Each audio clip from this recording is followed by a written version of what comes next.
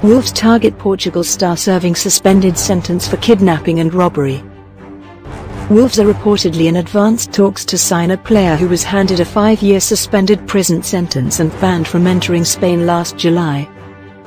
Defender Ruben Semedo was found guilty of a number of offences, including robbery, assault, kidnap and possession of a firearm, earning him an eight-year ban from entering Spain while he played for Villarreal.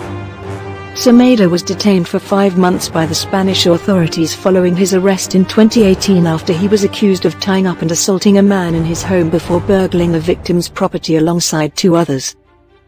The 27-year-old, who now plays for Olympiacos, was also charged with attempted murder, which he has always denied, before paying his £25,000 bail.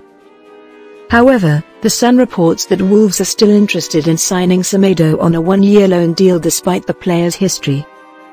Wolves boss Bruno Lage is also looking to add an option to buy in a deal for the central defender, who has previously spoken on his time in prison. He told Portuguese newspaper A Bola, I cried a lot of nights, I never did it in front of anybody, but I couldn't sleep many nights and I was thinking about my children and my family suffering.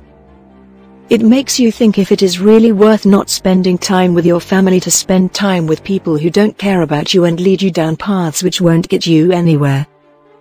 I suffered a lot and yes, I cried a lot of nights. Semedo has three caps for Portugal and will be remembered by fans of both Premier League North London clubs.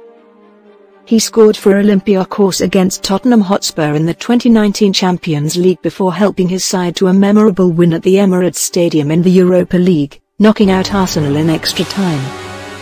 Semedo even played against Wolves in the Europa League last year as the Premier League side progressed following a Raul Jimenez winner.